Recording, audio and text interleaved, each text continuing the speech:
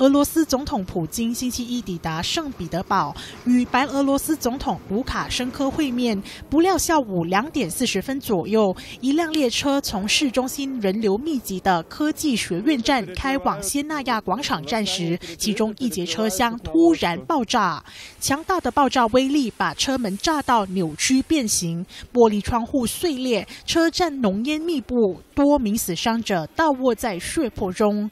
Мы вылезали, А, вагон обрушился весь.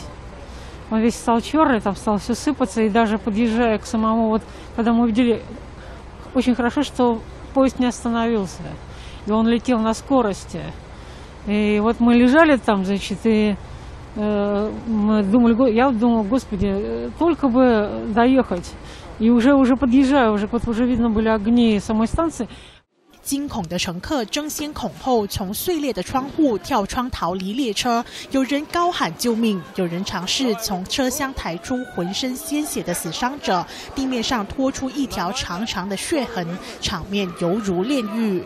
大批警车和救护车不久后赶到现场，疏散车站内的群众，并救出多名血肉模糊的伤者。Я потом, когда обернулся и глянула, там огромное количество людей лежало, то есть там Ну, трупы страшные. И когда вышли, нескольких людей выну, вытащили, ну, окровавленных.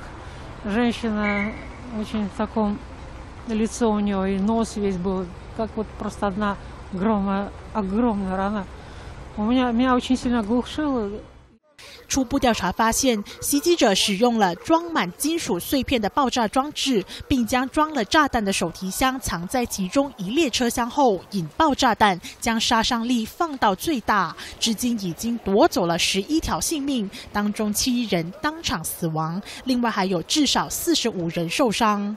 反恐部门事发后又在另一座地铁站找到另一个藏在灭火器下的爆炸装置，所幸当局已及时拆除。才不至于发生另一起悲剧。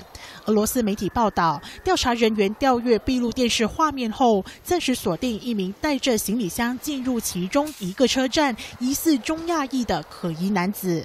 调查工作已经交由反恐委员会跟进意味着当局怀疑这是一起恐怖袭击。